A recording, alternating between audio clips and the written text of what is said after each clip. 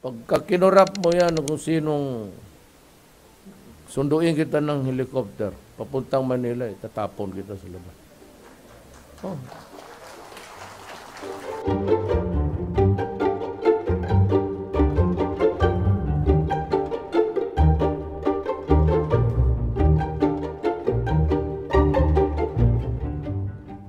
Nagawa ko naman yun, ma'am.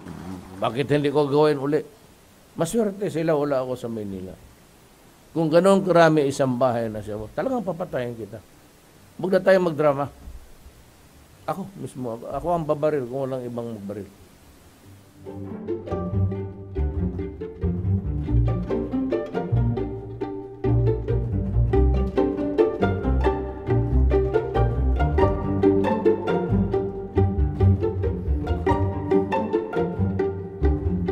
I must admit that a third of the killings really happened during police encounters.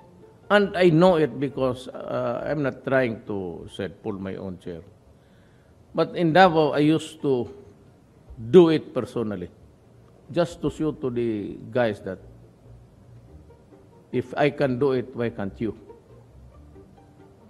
Uh, and, and I go around Davao with a motorcycle, with a big bike, no, and, and I would just patrol the streets and looking for trouble also. Tagla naghanap ako ng inkwento para makapatay.